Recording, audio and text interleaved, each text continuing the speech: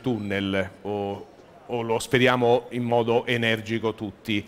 Ringrazio, eh, siamo in diretta sulla pagina Facebook eh, di FIPE, questo spazio FIPE, per affrontare diverse tematiche all'interno di un nome che abbiamo dato quest'anno a questo spazio che è Ristorazione 4.0, peraltro è lo stesso nome che EFCEM ha dedicato alle, alla sua iniziativa nei confronti del nostro mondo, anche senza volerlo ci siamo ritrovati, ci siamo ritrovati insieme ehm, sulla stessa lunghezza d'onda appunto.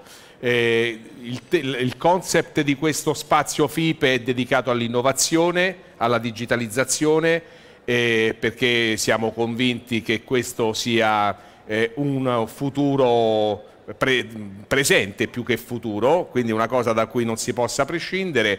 E allora ragioniamo oggi di un altro pezzo. Ieri abbiamo parlato dell'innovazione e digitalizzazione nella parte di front office, cioè il cliente no, che si mette in relazione con l'azienda o meglio l'azienda che si mette in relazione con il cliente. Oggi parliamo invece del cosiddetto back office, cioè quell'innovazione necessaria per gestire meglio i processi, per gestire meglio i processi produttivi, il processo produttivo all'interno dell'azienda. E per farlo abbiamo chiesto una mano eh, agli amici di FCEM Italia, che è l'associazione di categoria che rappresenta il mondo dei produttori di attrezzature professionali e nel loro mondo ci sono anche naturalmente le attrezzature non professionali nel mondo più ampio eh, di Applia, eh, rappresentano le maggiori aziende del, rappresentano, scusate, la, rappresentano le maggiori, maggiori aziende eh, della, eh, del settore. Ehm, e quindi con loro proviamo a fare un ragionamento, a capire che tipo di cambiamento c'è stato nelle attrezzature, quando si parla di transizione 4.0, si parla di digitalizzazione delle attrezzature, che vuol dire? Che cosa sta cambiando? Perché le aziende dovrebbero entrare in questo mondo con più convinzione? Sto parlando del mondo della ristorazione e poi parleremo anche eh, di un'idea che è nata sia a FIPE che a FCM di una collaborazione più stretta, peraltro noi abbiamo un protocollo d'intesa che ormai diciamo, va avanti da almeno un paio d'anni, cosa fare insieme per rafforzare questa collaborazione a beneficio naturalmente non di noi stessi ma delle imprese che rappresentiamo FCM per i produttori e eh, la FIPE per i ristoratori. Quindi vediamo che cosa possiamo fare insieme, poi di questo parleremo. Allora vi presento subito le persone che sono con noi. Eh, allora partirei dal... Eh, eccolo lì, eh, eh, Marco Imparato che è il direttore generale di Applia, eh, la famiglia, la casa dove dentro c'è anche FCEM eh, e poi magari ti chiederò Marco di fare anche te magari un, primo, un saluto, una, una tua considerazione proprio in partenza all'apertura. A seguire vado proprio in ordine il nostro Giancarlo De Idda che è consigliere nazionale della FIPE ma eh, ci tengo questo a sottolinearlo è anche e soprattutto un imprenditore del mondo della ristorazione lo vedete dai suoi capelli non è un, un, un improvvisato non è uno che è entrato nel mercato recentemente eh, e quindi sta cercando di barcamenarsi. È una, una, persona di grande esperienza, di conoscenza dei processi, dalle materie prime alle attrezzature, però poi ci dirà lui che oggi facendo un giro insieme ha scoperto che forse c'è ancora molto da imparare, anche per chi no, eh, di questo mondo sa, sa molto. Eh, vado a seguire con Carlo Carincola che eh, è un collaboratore di imparato all'interno di FCM Italia ed è quello che oggi rappresenterà FCM in modo, diciamo, in questa tavola rotonda perché Marco farà un saluto iniziale e chiudo con Roberto Ragazzoni eh, che è vicepresidente di Ali Group, eh, Ali Group eh, per chi non la conosce, ma credo che gli addetti ai lavori la conoscano un po' tutti, perché ha tanti brand all'interno, tanti marchi, eh, io ne ho scoperto oggi un altro che non sapevo facesse parte della famiglia, ma ne ha tanti, da Friulino, adesso non voglio far torto a nessuno eh, senza citare, però insomma poi ci dirà eh, il dottor Ragazzoni eh, chi sono, chi è Ali Group, ma soprattutto che cosa sta succedendo a livello di innovazione nel sistema delle attrezzature professionali. Eh, e quindi per quali sono i benefici eh, de, de, che portano a questa innovazione eh, per le imprese. Ecco, eh, io poi mi permetterò di chiedere una battuta a Paolo Capurro che è lì eh, defilato eh, perché è un imprenditore anche lui importante del mondo della ristorazione nella versione banqueting, diciamo, gli eventi, eh, devono gestire eventi di, con spesso centinaia, a volte anche migliaia di persone e quindi hanno bisogno no, di preparare le cose in un certo modo, di conservarle, di trasportarle, di rinvenirle e quindi credo che questo tema dell'innovazione delle attrezzature sia abbastanza di casa nel mondo dell'azienda di Capurro. Eh, quindi partirei da te Marco, ecco, se puoi fare una tua considerazione, magari anche un saluto e parlare un attimo di questa collaborazione con FIPE perché dopo tratteremo, entreremo più nel vivo degli argomenti, non ci, voglio, non ci dobbiamo autocelebrare, ecco dobbiamo entrare proprio nel, nel cuore dei problemi. Grazie Marco. Ecco non so se funziona, se mi sì. sentite bene, grazie. Eh, grazie Luciano, buongiorno a tutti. No, non faccio spoiler sulla, sulla iniziativa comune che stiamo portando avanti, poi Carlo riuscirà a entrare in, in, dettaglio, però ci tenevo a, dare, a portarvi saluti dei, dei, produttori, dei soci di FCM Italia, come Luciano già anticipato è un uh, produttore di apparecchiature professionali eh, che è un'eccellenza dell'industria dell italiana, per chi fa il mio mestiere, quindi diciamo rappresentare il settore è, è, è veramente un piacere, perché è un settore praticamente 100% made in Italy ed è, rappresenta una vera leadership, no, no, non tanto per dire ma concreta, a livello, a livello europeo e a livello, a livello, nazionale. È un piacere per me essere qui dai nostri amici di FIPE, ci lega un, un rapporto di, di, di lunga data, condividiamo dei valori importanti e credo che questo periodo di, di difficoltà che, che, abbiamo insieme affrontato recentemente ci ha probabilmente unito ancora di più. No? Non, um, non, voglio fare discorsi troppo retorici, ma è indubbio che nel, nel momento della, della, necessità fare sistema è, è, indispensabile. Credo che nel nostro piccolo siamo riusciti eh, anche a fare, a fare questo valori che ci uniscono a partire sicuramente dall'innovazione, dall'efficienza. credo che questo sia un percorso che possiamo portare, portare avanti insieme come beneficio per il nostro sistema paese. Grazie. Grazie Marco, eh, la, ancora solo dieci secondi.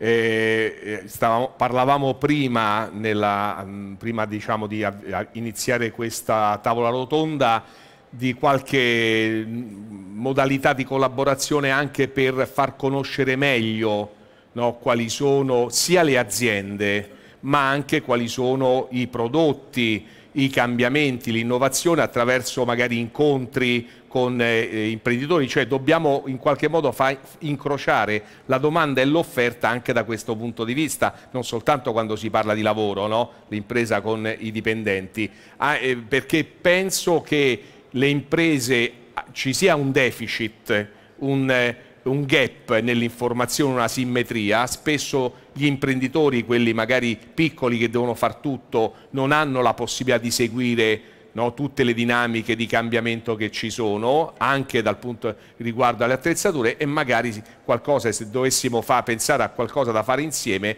una potrebbe essere questa. Eh, non so qual è il tuo punto di vista, se condividi. Eh, no, condivido assolutamente un tema che portiamo avanti come, come associazioni. Devo dire che come FCM Italia questa è proprio una delle probabilmente criticità maggiori che abbiamo evidenziato, come ci sia una perdita di, di, di conoscenza o comunque difficoltà di fare informazioni lungo, lungo la filiera, per cui quell'innovazione che viene portata avanti dalle nostre, dalle nostre, aziende poi non sempre si riesce a trasmettere lungo la, la filiera. Poi innovazione che porta dei vantaggi concreti, eh, miglioramento della, del, del, servizio, diminuzione della bolletta elettrica, che in questo momento credo che sia un argomento sicuramente, certo. sicuramente caldo. Quindi eh, insieme credo che da questo punto di vista possiamo veramente portare un, un beneficio per il, per il sistema. Noi rappresentiamo un, un settore che eh, fattura più di, di 5 miliardi di, di, euro, quindi mm, diciamo, un, fattore, un, un settore rilevante.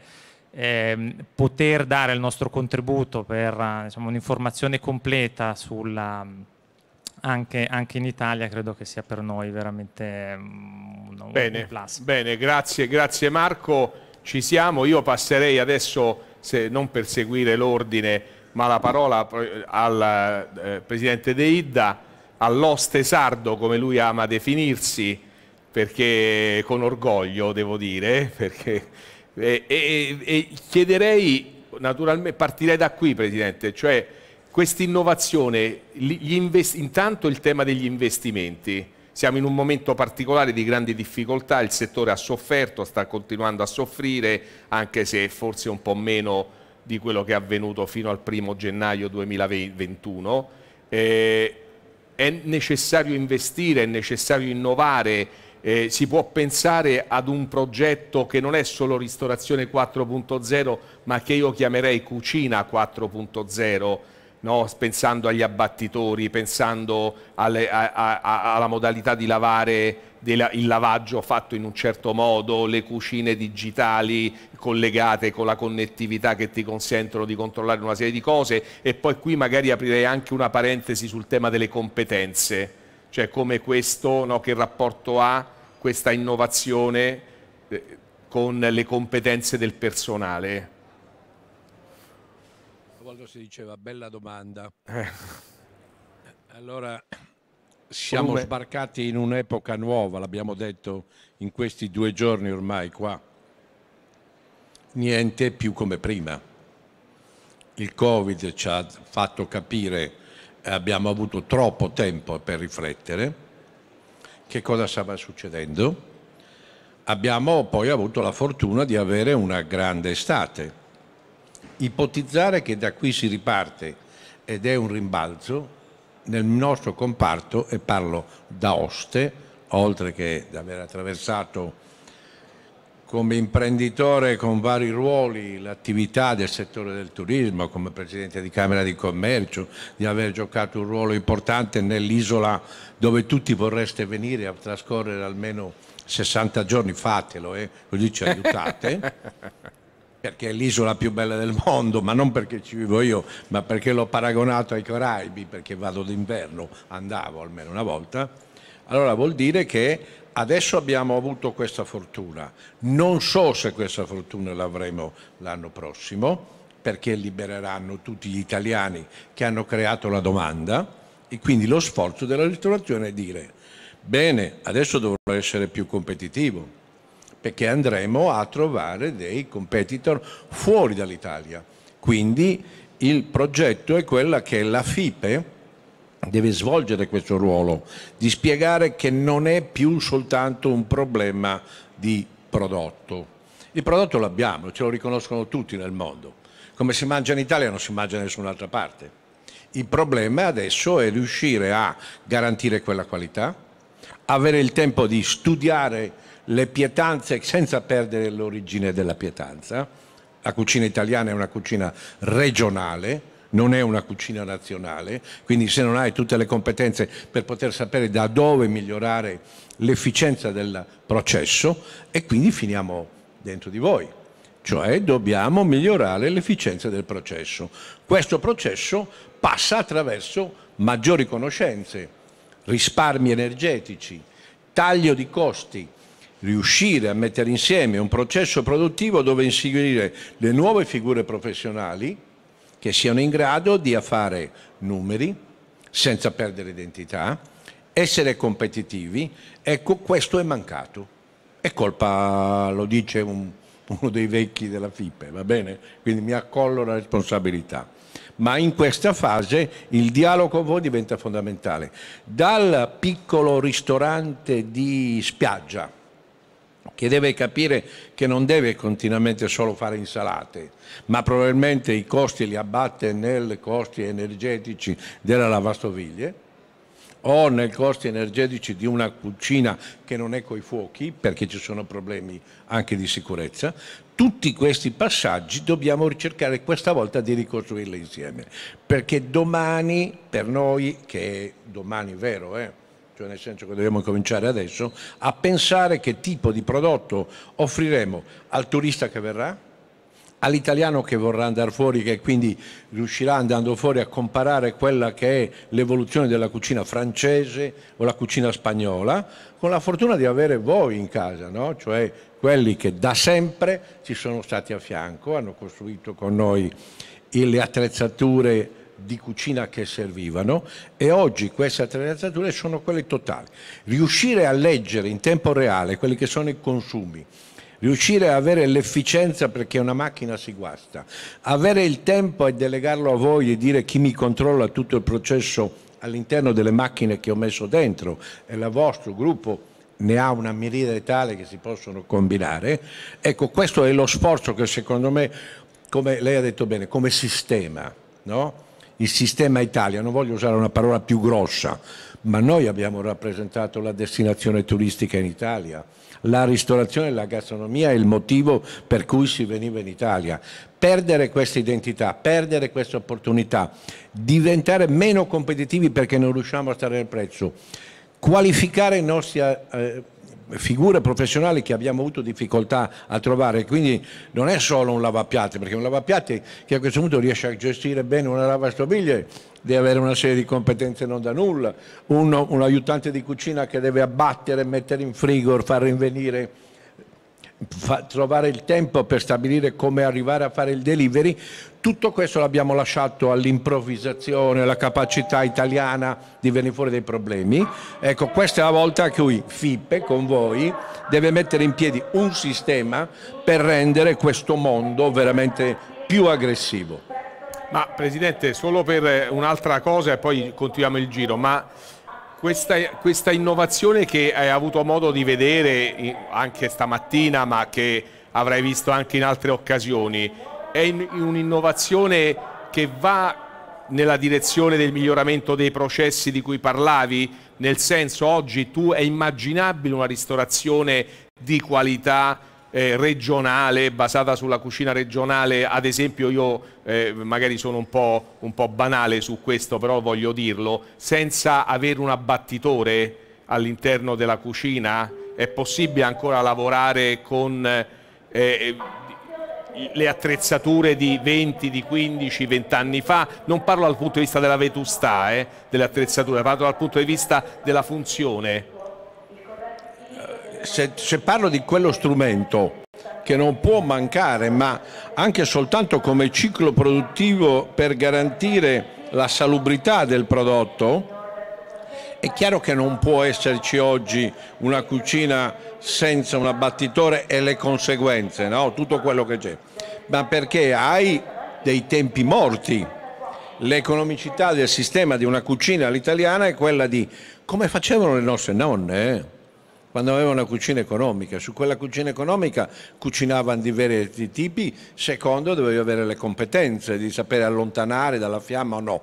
Qui dobbiamo trovare la possibilità perché nella ristorazione l'abbiamo visto, ma non adesso, già da prima c'era poca presenza nella ristorazione tradizionale a pranzo e quindi quelle ore comunque di lavoro e di competenze che avevi devi riuscire a trasformarle in un processo di produzione che consente abbattitore, sottovuoto, che non vuol dire perdere l'identità. Questo passaggio i francesi l'hanno fatto 15 anni fa e hanno rivendicato di averlo fatto. Ecco, noi in, potremmo approfittare, dobbiamo, non potremmo, dobbiamo approfittare di questo momento per fare questo salto, competenze, andrà sempre bene la, la, la, la, cucina con quattro padelle, no? diciamo che non ci sarà, ma che chi mette in presa deve farlo in maniera diversa.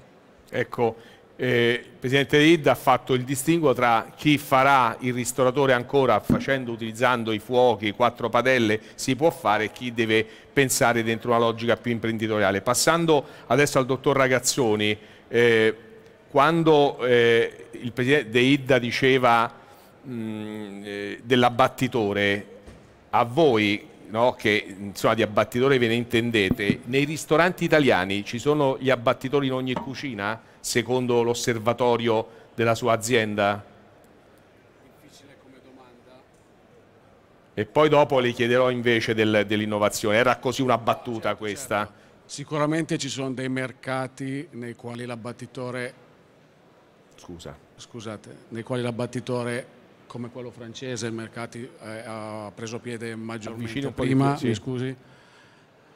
L'Italia però non è tra i mercati più arretrati, eh, i nostri amici tedeschi, per esempio, usano ancora meno l'abbattitore rispetto al, ah. agli italiani. Bella notizia questa. Ogni tanto anche noi italiani possiamo fare eh, buone innovazioni di processo. Ok, invece rispetto al, al tema del dove stanno andando le macchine, che si fanno oggi? Qual è la, la, direzione? Che tipo di cambiamenti ci sono? E perché avete pensato a quei cambiamenti, a introdurre quell'innovazione nelle macchine? Per quale, per, per quale obiettivo, quale esigenza? Sì, devo dire che la ristorazione è conosciuta come un settore piuttosto tradizionale, dove le innovazioni avvengono molto lentamente rispetto ad altri settori. In questi ultimi anni però vediamo grosse spinte all'innovazione e que questa fiera lo conferma, lei stesso ha detto che sì. ha visto molte novità. Eh, I driver secondo noi sono sicuramente due importanti, quello di una migliore efficienza energetica eh, e lo vediamo sul lavaggio, lo vediamo sulla refrigerazione soprattutto, eh, e poi quello legato alle opportunità che l'elettronica dà eh, per meglio gestire l'apparecchiatura e di conseguenza la connettività dell'apparecchiatura.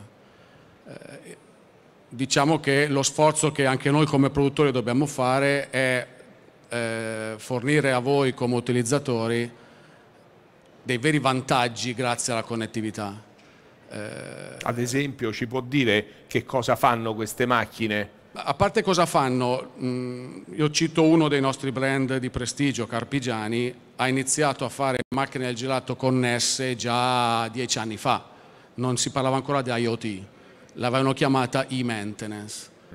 Quindi oggi se una macchina del gelato che ha equipaggiata con la connettività Torema di Carpigiani si guasta, il tecnico sa già che tipo di guasto ha e quindi quando interviene eh, ha già sul suo camioncino il pezzo di cambio giusto, per fare un esempio. Quindi il mondo del servizio post vendita e dell'assistenza è sicuramente il primo obiettivo, il primo miglioramento che la connettività può fornire. Parliamo poi di eh, controllo eh, remoto delle apparecchiature, quindi sapere se, se, le apparecchiature sono correttamente funzionanti oppure no, anche non tanto come servizio tecnico quanto come mh, mm, gestore del, del, punto vendita. Eh, Un'altra cosa banale è avere la, la norma HCCP in automatico sul freddo non devo più segnare... La famosa lista, la checklist esatto. in cui bisogna segnare la temperatura laddove la richiedono. Esatto, questa è fornita in automatico, vado con la mia app, vado sì, col, col, mio computer, la scarico e, e ho tutto in, in automatico. Eh, quindi il nostro sforzo, stavo dicendo, è quello di eh, immaginare anche insieme agli utilizzatori le potenzialità innumerevoli che possiamo eh, trovare ad, ad, avere le cucine connesse, ho fatto solo un paio di esempi in questo momento. Il terzo esempio che mi viene in mente eh, sui forni combinati, sappiamo bene, possiamo scaricare da internet le ricette. L'Inox ha questo ricettario Nabook, dove qualunque chef può caricare una ricetta e qualunque utilizzatore può scaricarla ecco, da internet. E qui le, le, chiedo la cosa eh, che avevo chiesto a Deidda e però a ribalto su di lei. Questo, eh, questa innovazione no? in cui la macchina quando ci sei davanti, forno, eh, davanti a un forno ti dice metti il, il vassoio in questo modo, ti fa vedere come metterlo, poi ti dice appunto la ricetta, poi ti dà una serie di istruzioni. Questa roba come si combina con un processo di valorizzazione delle competenze? È, un, un, un, è, la macchina che incorpora il know-how e quindi lo toglie, richiede un personale meno competente perché ci pensa la macchina o in qualche modo c'è uno scambio di valore tra macchina e uomo? Facile dire che ci deve essere uno scambio di valore. Io faccio sempre il paragone con eh, le fabbriche che producono le nostre apparecchiature, io ho un'estrazione da, da operations. Anche con l'automazione in fabbrica non eliminiamo il valore aggiunto che l'uomo può dare, però togliamo quelle operazioni a non valore aggiunto che eh, certi operatori devono fare. Quindi anche in questo caso posso sempre scaricare da internet la ricetta, ma in quella particolare situazione, con quel particolare menu, posso eh, chiaro, io chiaro, mettere del, del, il mio know-how e personalizzare la mia ricetta. Però poi sono sicuro che avrò una standardizzazione del, del prodotto nel tempo perché userò sempre quella ricetta che io ho memorizzato nel mio forno. Senta, a Aligroup eh, adesso ehm, ci sono nuove innovazioni di, che verranno nei prossimi anni a cui state già pensando o per adesso questo è il massimo che si può fare?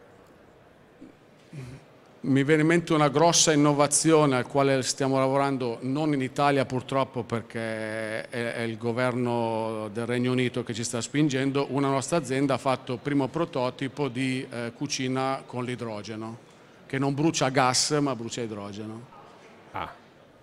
Forse non dovevo è, è, Pensavo alle macchine di idrogeno, non alle cucine. Quindi veramente... anche questo va nella direzione della eh, riduzione... Della sostenibilità di esatto, fatto, no? perché esatto, poi esatto. dietro queste cose si apre il grande tema della sostenibilità. Io direi anche della sostenibilità non solo per l'ambiente ma anche per la cucina stessa perché Deid ha fatto un passaggio, credo, eh, o l'ha fatto in un altro momento in cui parlavamo, anche dell'ambiente di lavoro, di come migliorare eh, l'ambiente di lavoro di, di, una cucina che noi sappiamo, insomma, per chi ha avuto modo di vederle, che magari con certe temperature eh, in alcuni momenti dell'anno non è dei migliori se non ci sono attrezzature no, adeguate. Questo è un altro tema molto interessante e mi ricollego a quello che stavo dicendo prima sull'analogia tra una cucina e una fabbrica. Eh, scusatemi, no, non per banalizzare, però eh, l'organizzazione che mh, può essere necessaria in cucina per efficientare i processi eh, è un, un, eh, un, percorso di miglioramento. Eh, una delle nostre aziende sta lavorando a un modello che chiamano fabbrica cucina, laddove riescono a dare aiuto al, eh, al, ristoratore, a chi progetta la cucina per ottimizzare il processo interno eh, all'interno della cucina. Anche grazie alla tecnologia, certamente, Chiaro. ma prima di tutto eh, come aiuto alla progettazione dei miei flussi di, al, del mio personale all'interno della, eh, della perché cucina. questa è la vera sfida. Eh, di questi tempi sappiamo che esiste un grande problema anche di eh, reperimento del personale, a volte di personale qualificato, il più delle volte, eh, non di quello più generico. Adesso diciamo il problema esiste un po' dappertutto, a tutti i livelli, generico più qualificato, eh, però questo è un problema, si ragionava anche ad esempio con eh, come tagliare alcune, una, alcune eh, diciamo, alcuni processi, accorciare alcuni processi utilizzando macchine che fanno totalmente il processo. No? Pensavo, ho visto delle, delle mm, eh, eh, lavaggio di, di, piatti eccetera a nastro oppure eh, a traino e così via che di fatto fanno un po' tutto da sole. Certo, Stiamo cercando di ridurre le dimensioni di quelle eh, eh attrezzature eh, eh, perché normalmente eh, richiedono maggiori spazi che non un ristorante sì. dove lo spazio in cucina è sempre prezioso. quello è anche l'attività, se vogliamo, a monte della, della, della lavastoviglie la, sì, sì, può sì. essere automatizzato. Chiaro, chiaro. Ma io penso che l'innovazione tecnologica, l'automazione in genere, in questo caso l'automazione che ha attraversato tutti i settori, partendo dalla manifattura prima di tutto, ma sta arrivando anche altrove, deve servire a razionalizzare i processi, anche in attività tradizionali dove sembra no, che sia una contraddizione in termini. Qualcuno pensa che sia quasi uno snaturamento no, dell'anima di una... Se ragioni in una logica di impresa devi capire che cosa è utile fare. Quindi questo è un po' il... È un'ottimizzazione dei propri costi è, operativi, esatto, certamente. Esatto. E va sempre accompagnata da un cambiamento anche, chiamiamolo organizzativo, da un cambiamento dei modi di lavorare. Quindi la tecnologia aiuta se sono disposto a mh, cambiare e migliorare il Perfetto, adesso le, le, posso fare una provocazione magari così beh, bonaria, eh, niente di... Eh, qualcuno, se qualcuno venisse in visita ad Host, che non fa il, il ristoratore, l'imprenditore, passa davanti ad un'azienda, delle vostre o di un competitor, e guarda i forni, guarda alcune cose vede che sono tutti automatizzati, le ricette eccetera, può pensare di magari dice ma qui apro anch'io un ristorante perché è tutto facile, fa tutto la macchina. Ecco, lei pensa, adesso sto banalizzando io, pensa che questa cosa ovviamente è, è, una storiella non come dire da narrazione ma non è così in effetti. Perché poi io vedo quando ci sono i, quelli che fanno le dimostrazioni il personale tendono molto a semplificare. Della serie passando oggi tipo questo lo può fare chiunque questo lo può fare chiunque. Allora questa cosa non mi incoraggia. Se penso da un punto di siccome noi viviamo in un settore che ha un grande turnover imprenditoriale noi sappiamo parlo di dati pre-Covid, scusate, eh, che le aziende a 5 anni, 100 aziende nascono oggi, a 5 anni ne arrivano vive 40, con un tasso di mortalità del 60%. Allora vorremmo un po' come dire, sfatare l'idea che questo sia un settore facilmente eh, approcciabile e, e, non vorremmo ecco, che la tecnologia possa essere interpretata come un incentivo ad entrare perché tanto no, non devo saper fare il ristoratore o fare il coso, ci sono le macchine. Ecco, questa cosa qui io penso che naturalmente non è nello, nel, nel, nello spirito di un'azienda come la, quelle che voi rappresentate, la sua, per, però a volte mi viene da pensare che qualcuno possa essere preso da questa cosa, che la tecnologia ti fa, ti fa fare più eh, facilmente l'impresa e quindi puoi anche non sapere, tanto ci pensa la tecnologia. Magari ho detto una banalità, eh. No, penso che la tecnologia sia, come ho detto prima, un fattore abilitante, ma bisogna saperla usare all'interno di un processo che va dall'acquisto delle materie prime al servizio chiaro, del chiaro, piatto chiaro, al, al, cliente. Quindi la tecnologia mi aiuta a essere più efficiente, a consumare meno energia, come dicevamo, eh, ma non si sostituirà mai eh, al, al ristoratore, all'imprenditore che vuole aprire un... Poi le chiederò magari a un altro giro altre cose, ehm, eh, abbiamo quell'altro perché dobbiamo fare l'operazione...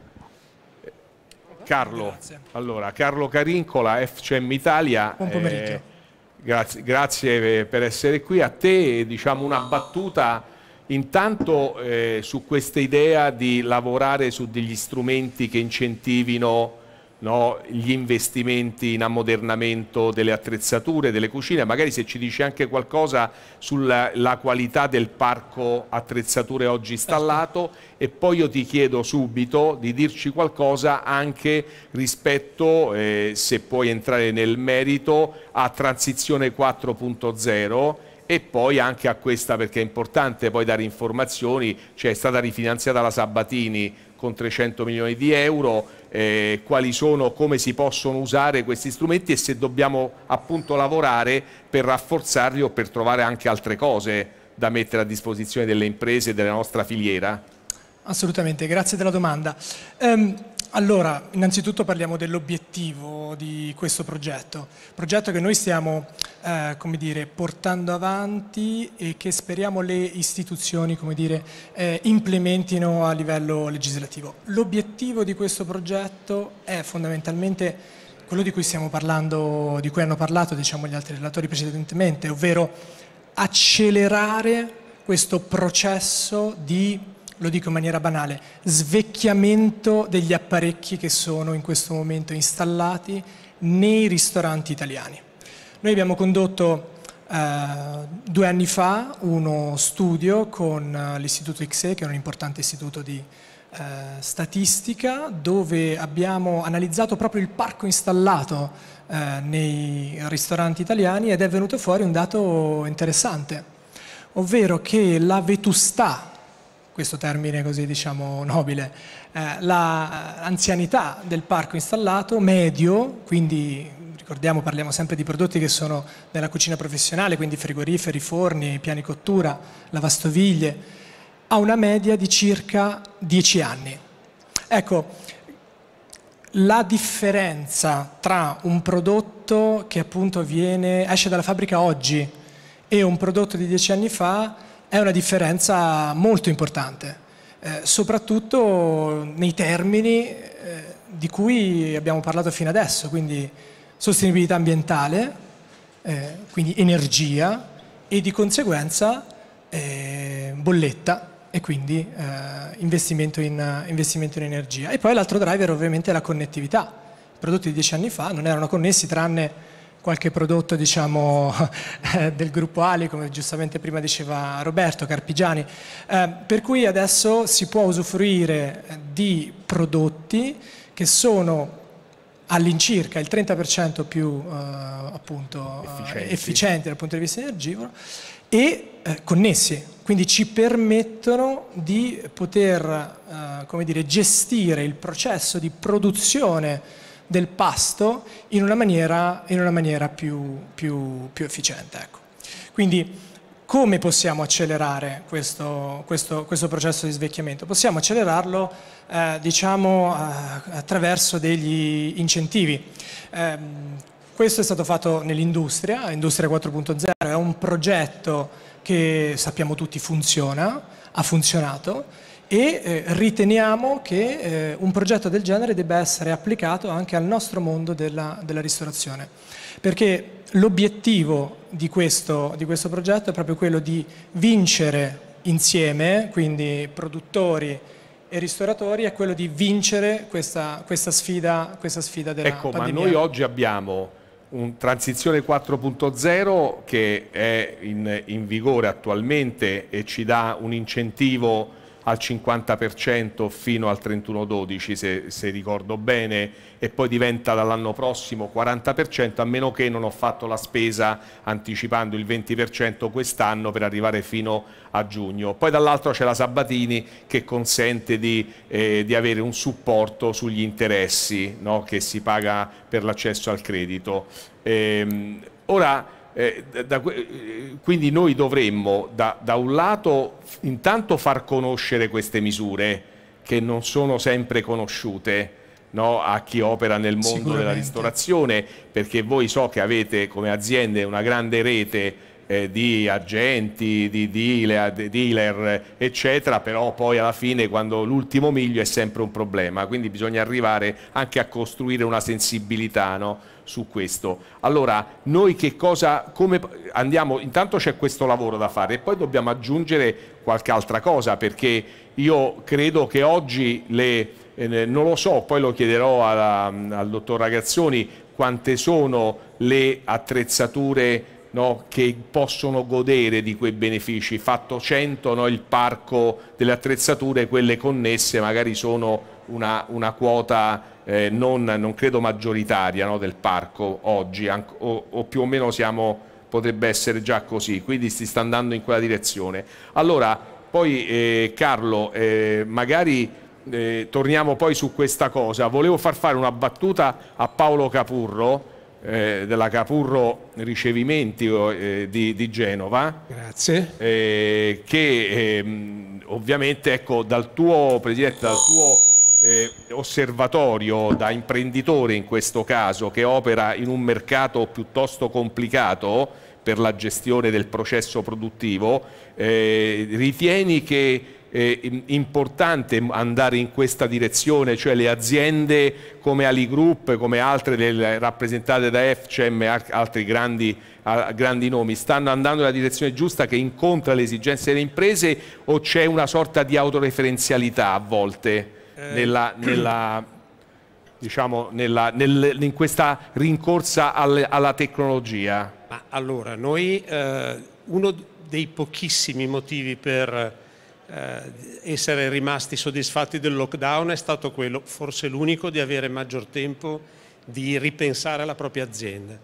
E devo dire che io sono venuto a conoscenza del progetto di 4.0 dell'innovazione sulle apparecchiature da un fornitore eh, che è venuto a parlarcene, me ne sono innamorato perché infatti oggi sono qua proprio per questo, perché ho trovato che sia estremamente interessante.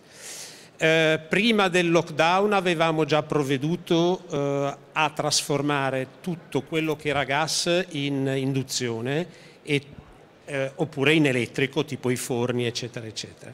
Ma adesso io trovo che ci sia eh, modo attraverso, credo, spero, mi auguro, ma mi sembra che dai discorsi che stiamo facendo sia esattamente così, eh, che ci sia modo di poter contribuire attraverso queste apparecchiature a una maggiore sicurezza alimentare, a una gestione in remoto di tutto quello che è eh, il discorso dei consumi che eh, sono diventati fondamentali, importantissimi perché eh, non lo so, io penso alla mia azienda, noi abbiamo 200 kW impegnati, caspita, sono tanta roba, no? Cioè si dice una volta, anche quando se uno se ne accorge quando è fermo, perché allora si accorge di quali sono i costi di, eh, di questi kilowatt che sono lì a disposizione.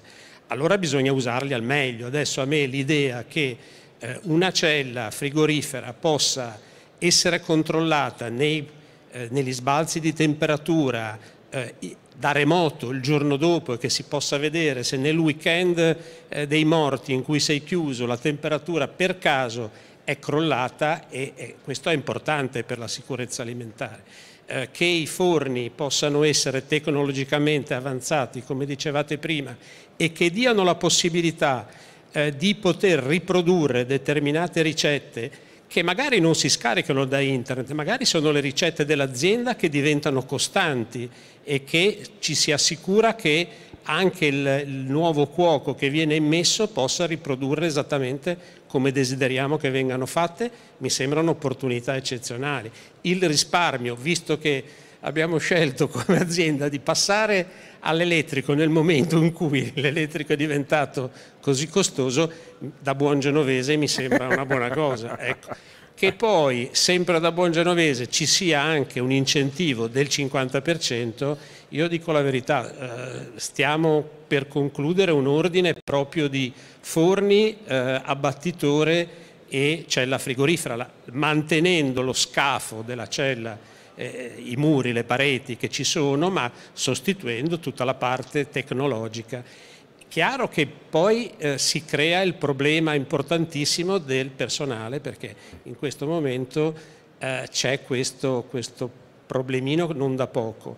Eh, però non credo che questo spersonalizzi la capacità del cuoco, anzi eh, deve essere maggiormente innamorato del proprio lavoro perché deve essere a conoscenza delle attrezzature come della materia prima, quindi diventa estremamente importante. Secondo me dovrebbe questo contribuire, come diceva Deida, a eh, assolutamente far sì che le aziende possano crescere, perché questo è, è, un modo di crescere e il personale che ne fa parte altrettanto.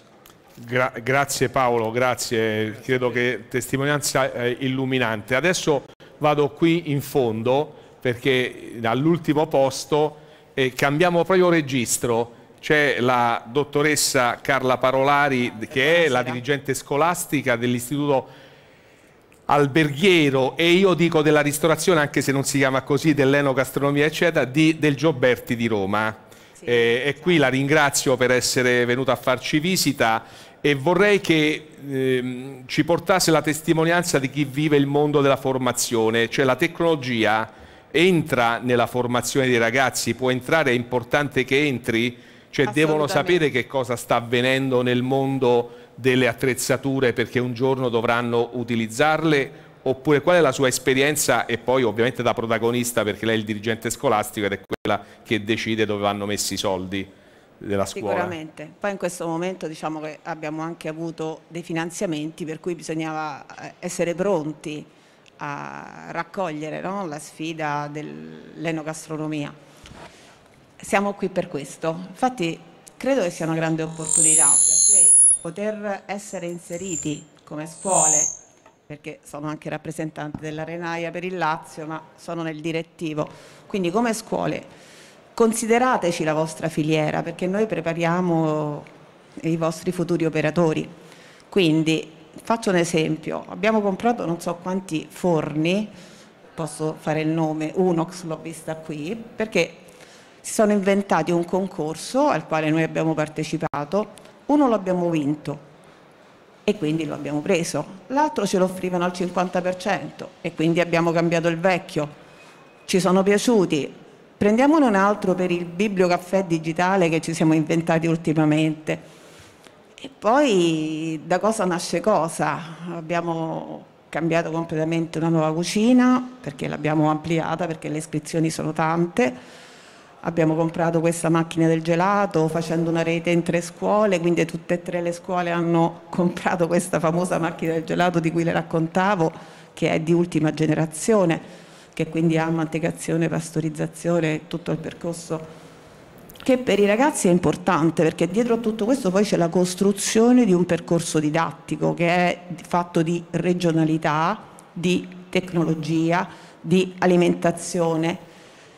Insomma, il mondo della scuola cerca di stare dietro a tutto ciò che accade, senza poi dimenticare il discorso dell'inclusione che faccio sempre. Prima quando lei diceva, beh, una macchina che sa fare tutto, eh, può fare a meno del cuoco, può fare a meno dello chef, No, ma può aiutare anche quello chef che ha un certo tipo di abilità diverse, che non è una cosa così da poco conto, così scontata. Quindi mi sembra una grande opportunità avervi giusto, incontrato. Giusto. Giusto. E quindi contenta, spero che appunto. Quindi questo è un invito anche alle aziende a tenere in considerazione in qualche modo la, la, il, il, sistema, la rete delle scuole, no? Perché per poter, eh, poterle aiutare.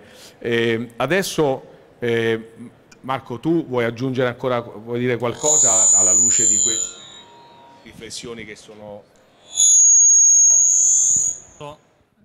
Ringrazio la dottoressa per, per lo spunto eh, l'operatore è diciamo, un elemento fondamentale della, eh, della filiera, quindi lo, lo, lo, cogliamo in pieno. E ripeto, il nostro impegno come, come produttori, lo diceva anche Roberto prima, è eh, lavorare per offrire un, un beneficio, quindi chi meglio di chi poi mette le mani sul, sul, sul prodotto può, uh, può, dirci sono, se, se, siamo sulla strada, sulla strada giusta. Mm, no, volevo fare solo un inciso, sì, Luciano, certo. sul tema degli incentivi. Cioè, è uno strumento che abbiamo visto funzionato benissimo in altri settori. Tu giustamente citavi altri strumenti che in questo momento sono, sono attivi. Mm, due cose. Uno, questo è un settore che ha sempre camminato con le proprie gambe. Non abbiamo mai, scusate lo dico un po' volgarmente, però mi piacerebbe essere chiaro, non abbiamo mai chiesto aiuti per questo settore perché è un settore solido, con un'imprenditoria sana, che ha saputo fare innovazione e mh, lavorare in un mercato che non sempre è stato facile portando dei grandi risultati. Questo è al di là della, della, della difficoltà di, de, degli ultimi due anni, questo è un processo che deve portare a una vera innovazione della, di, di, tutto il, il, sistema. E anche un ehm, andare insieme in una strada di semplificazione, perché giustamente tu citavi transizione 4.0 che però non è stata ideata per questo settore, quindi ahimè, anche ahimè per eh, i ristoratori, magari per chi è più strutturato e anche, come dire, magari un pochino più facilitato nell'addentrarsi tra i meandri delle varie, delle varie richieste, quello che noi chiediamo è uno strumento che sia calibrato sulla ristorazione e che sia di semplice attuazione. Quindi non è una rivoluzione Siamo copernicana. perfettamente d'accordo. Non è una rivoluzione, è una richiesta di attuare quello che già si, in alcuni casi si può, si può fare, ma Infatti Marco io sono settore. andato per mia conoscenza a rivedere tutte le, no tutte le, norme, i provvedimenti su transizione 4.0. Ti confesso che se fossi un, anche così, un, un imprenditore di, al, di medio-alto livello, leggendo quelle, quelle, norme, non capirei che riguarda anche me, farei fatica a capirlo, perché si parla di tutt'altro, è veramente difficile. Non, sono, non, è che ci deve essere scritto la cucina no, 4.0, ma si parla di tutt'altro, quindi tu fai fatica a capire che là dentro ci può essere anche no, un forno di quarta generazione, cioè diciamo connesso e così via. Quindi la, la tua diciamo, eh, suggestione, che è quella che stiamo percorrendo e che vorremmo percorrere insieme, di fare uno, uno strumento a misura del mondo della ristorazione, che non dimentichiamolo valeva prima del Covid 46 miliardi di valore aggiunto, 46 miliardi non è così poco, e poi ha tutta quella componente di valori immateriali per il Paese che è enorme, io credo che sia giusto. Bene, adesso intanto ti ringrazio, eh, dottor Ragazzoni, eh, in conclusione diciamo, e poi facciamo, chiudiamo con il giro, è possibile, eh, secondo lei, lei ci crede alla possibilità che si possa realizzare uno strumento a misura della ristorazione, cioè unendo le forze, mettendocela tutta? Perché no, dico, dobbiamo crederci. Eh, come diceva lei, è un settore che per il sistema paese è, è importante.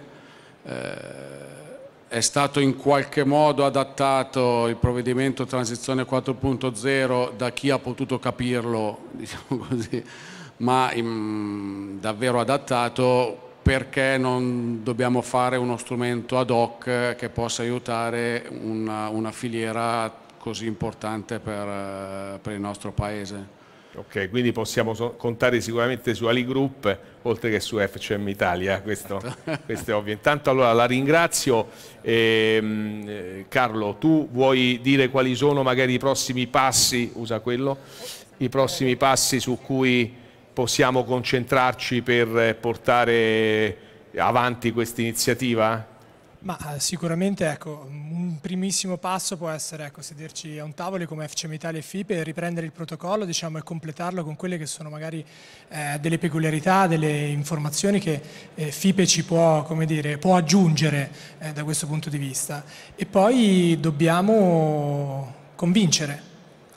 Per convincere dobbiamo cercare di essere anche poco autoreferenziali, ovvero prima dicevo questo progetto è per vincere per noi, per ristoratori e produttori, eh, vincere questa sfida del Covid, diciamo, di, della pandemia, della, della, di questa sfida. Eh, dobbiamo sottolineare il fatto, come diceva Roberto, che questo è un progetto soprattutto per il sistema paese. Nel momento in cui vengono installate de, delle macchine che hanno un'efficienza energetica sicuramente inferiore, tanto inferiore rispetto a quelle che sono installate in questo momento, beh, il sistema paese non può solo che guadagnarne perché eh, parliamo del settore della ristorazione che nel settore terziario è il più energivoro di tutti, quindi sicuramente questa può essere la chiave di convincimento. Ecco, allora però qui lancio io una cosa e poi chiedo a, a Deidda di, di concludere questo perché siamo proprio di fatto in perfetto orario, l'impegno l'abbiamo mantenuto, so che lei sta scalpitando perché sta qui non per fare talk show, tavole rotonde, ma per gestire il business. Eh, però io eh, penso che noi dovremmo impostare la nostra azione su due piani, questo l'abbiamo già detto. Uno è il piano dell'azione verso gli stakeholder eh, che sono quelli in particolare che rappresentano il mondo della politica, le istituzioni, perché capiscano che è importante fare alcune cose, però poi dobbiamo costruire dei momenti in cui parliamo alle imprese, no? una sorta di road show che va a parlare di innovazione, di cambiamento e va a presentare queste cose. Se ce la mettiamo, ci siamo noi, ci siete voi, ci sono le aziende, le, nostri, le nostre e le vostre che ci credono, dobbiamo fare un grande progetto, credo che non sia soltanto un progetto che va a finire nella stanza del Camera dei Deputati, del Senato con un emendamento perché va benissimo, questo lo dobbiamo fare, però dobbiamo anche fare un progetto che sia visibile no, concretamente alle imprese. E quindi dobbiamo su questo mettercela tutta avendo, coinvolgendo tutti gli attori. Perché questo è importante. Se poi mi insegnavano alcuni grandi diciamo, dirigenti della FIPE se il cavallo non beve tu hai voglia no, a portarlo. Poi se non fai le cose i provvedimenti e poi no, non li usano perché non, non, li conoscono, non li capiscono eh, eh diventa un problema. Presidente sei d'accordo su questo? Microfono per il Presidente Dedda e chiudiamo. Ah, no, solo per chiudere, grazie del momento, gli amici di... Già abbiamo fatto passi, ne abbiamo già detto che stiamo facendo altri. Chiudo solo una cosa, se recuperate ciò che abbiamo fatto ieri, perché appunto ha detto non dobbiamo essere autoreferenziali tutti, perché noi abbiamo già capito che la ristorazione di domani avrà un 25% di domicilio, di delivery. Quindi la tecnologia diventa indispensabile, non è solo per il processo produttivo, risparmio energetico, è produrre quando serve, per i numeri che servono, facendo economia di sistema e solo con voi lo possiamo fare. D'altro canto, quando abbiamo detto sarà sempre più difficile trovare figure professionali che vengano da noi, ma non è solo cuochi, eh? pensate soltanto a asciugare le posate.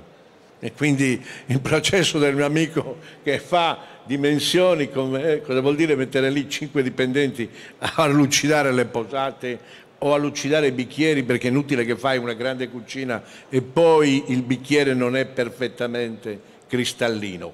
Quindi tutto questo è mancato perché tutto ha funzionato, lo stellone, chiamiamolo come lo vogliamo, ma adesso far capire come sistema che abbiamo bisogno di questo tipo, no? leggerlo, può leggerlo anche uno come me che non aveva riuscito a capire che era un'occasione, l'amico Capurro l'ha capito, ma è dovuto venire qua oggi, oppure gliel'hanno spiegato, allora lo sforzo della federazione è tutto questo. Chiudo col dire che, ecco, ieri abbiamo parlato che quindi dove è finita la ristorazione dopo il Covid, col delivery, quanto vale la ristorazione da asporto nella ristorazione inglese, cioè nel senso che il ristoratore sarà anche il posto dove si passa a prendere la pietanza che poi a casa, e voi sapete quanti sono i single, nella mia città il 52%, i single e i singoli di ritorno, quelli la cucina non l'apriranno mai, eh. o finiscono a prendere il surgelato, oppure vanno e passano dal ristoratore e quindi ha un livello anche di gestione prezzo, analisi dei costi, lettura dei tempi, tutte quelle cose diventano essenziali per la sopravvivenza del modello della ristorazione che parte dal territorio. Ma penso che questa conclusione eh, sia dire, di, di, grande auspicio per una ottima collaborazione e per portare dei risultati alle aziende sia vostre che nostre. Io ringrazio tutti, soprattutto chi ha avuto la possibilità di seguire qui in, sul posto questa tavola rotonda, naturalmente saluto anche quelli che ci seguivano attraverso la diretta e ringrazio tutti voi. Grazie ancora e diamoci appuntamento non al prossimo host, magari molto più a breve per vedere se stiamo facendo passi avanti. Grazie ancora, grazie a tutti.